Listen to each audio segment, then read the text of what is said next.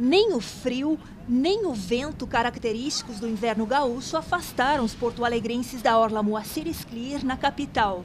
O passeio, o chimarrão, as atividades esportivas, tudo é motivo para ir contemplar a nova Orla Gaúcha. Neste final de semana, cerca de 50 mil visitantes estiveram circulando entre os espaços da Praça Júlio Mesquita até a Rótula das Cuias e o Parque Harmonia. É um grande presente né, que todos nós, cidadãos porto-alegrenses, recebemos essa orla.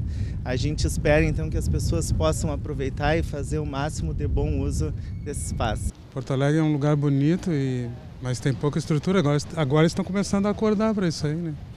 Para tornar o espaço mais agradável, a Secretaria do Meio Ambiente e Sustentabilidade, responsável pela gestão do parque urbano, desenvolveu uma série de regras para a utilização do local.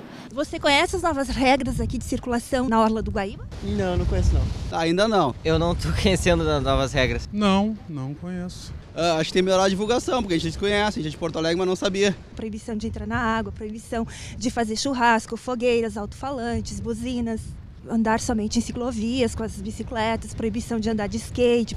Não sabia não. Eu acho uma idiotice, porque você pode andar de bicicleta porque não vai poder liberar as outras coisas para as crianças também. Para andar de skate, a indicação é o uso da Avenida Edivaldo Pereira Paiva aos finais de semana e a pista localizada no Parque Marinha do Brasil. As bicicletas podem ser deixadas no bicicletário conduzidas a pé. Também é proibido circular com veículos no parque. Apenas Guarda Municipal e Brigada Militar podem se deslocar com guarnições. A IPTC criou uma área para embarque e desembarque de veículos particulares, táxis e transporte por aplicativos. Fica na Avenida Loureiro Silva, altura do número 255, próximo à Câmara dos Vereadores. Na verdade, essas regras elas sempre existiram através do decreto 17986 de 2012. É um decreto que uh, representa o regulamento dos parques urbanos e praças em Porto Alegre. Além da, da legislação vigente, né, a análise técnica também observando o uso sempre com o objetivo de diminuir os impactos negativos, foram elencados então aqueles tópicos que a gente enxerga uma maior possibilidade de conflito, se adiantando então a isso. As regras são importantes para a própria preservação do local, né?